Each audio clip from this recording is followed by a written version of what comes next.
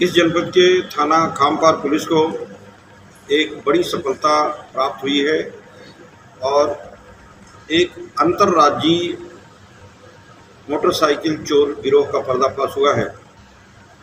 इसमें तीन अपराधी गिरफ़्तार हुए हैं।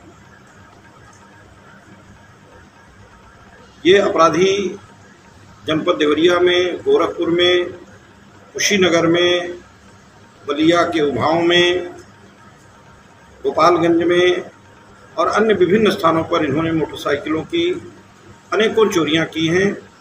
इनके कब्जे से पंद्रह मोटरसाइकिलें मिली हैं, जिनमें से छः मोटरसाइकिलें विभिन्न अभियोगों में जिन जनपदों का मैंने नाम लिया है, कनेक्ट हुई हैं। शेष के बारे में पुलिस छानबीन कर रही है।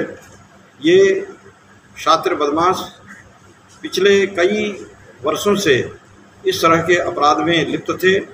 लेकिन इन पर पुलिस की निगाह नहीं जा पाई थी और थाना खाम पर पुलिस ने एक सुनियोजित तरीके से इस गैंग के पीछे कार्रवाई, इस गैंग के पीछे अपना अभियान चलाकर इनमें से तीन अभियुक्तों को गिरफ़्तार किया है और इन अभियुक्तों की गिरफ्तारी पर एडीजी जोन महोदय ने पूरी टीम को पंद्रह हज़ार रुपये के नकद पुरस्कार की घोषणा की है।